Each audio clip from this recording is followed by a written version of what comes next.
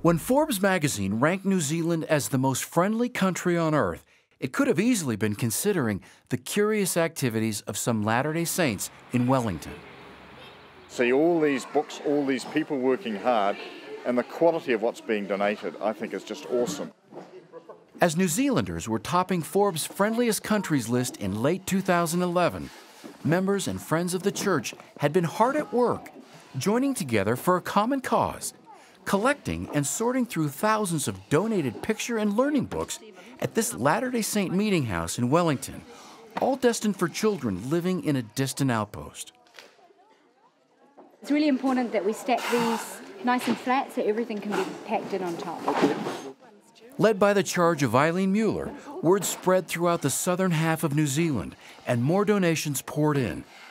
It turns out New Zealanders have an abiding affection for their Pacific neighbours.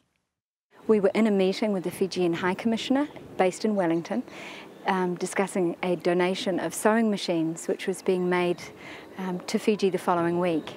And my state president asked her what needs there were in Fiji and she said she was always buying books to take home to the children. And so uh, we glanced at each other and a project was born and a year later here we are. And where they are, exactly, is Bau Island, an isolated outer island of Fiji, a remote village community that once cradled Fiji's political and cultural identity in centuries past. But as times changed, Fiji's larger islands and cities like Nadi and Suva grew into tourism and commercial capitals with many different languages and nationalities, while outer islands like Bau have felt the separation.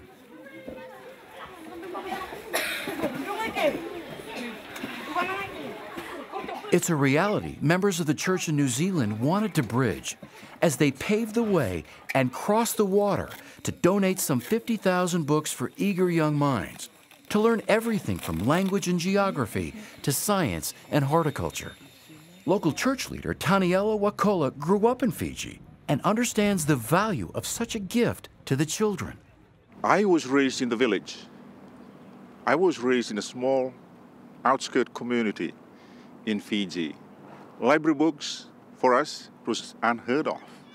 Here, as the children seem to carry all the rambunctious enthusiasm of Bau Island on their shoulders, their older brothers and sisters carry off the very first arrival caseloads of books from the village dock and up to the schoolyard that overlooks the bay that surrounds their remote village.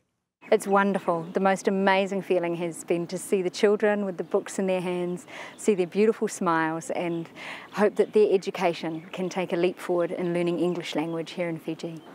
Whatever race, whatever color, whatever creed, whatever faith, you can still extend that arm of, of love that Jesus Christ uh, uh, teaches, as well as the teaching of Jesus Christ of Latter-day Saints, where the gospel unites everyone.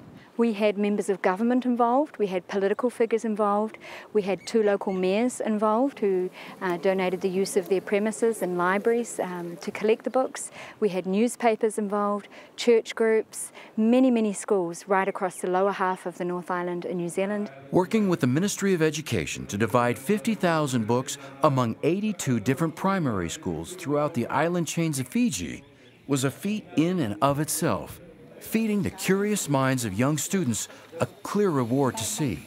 But to offer a heartfelt thanks requires something more. When I first heard this project, I thought to myself, if those contributors, if those who contributed towards this project, if those who initiated this project felt a, a prayer of appreciation, if they ever heard one prayer, I think that prayer was mine.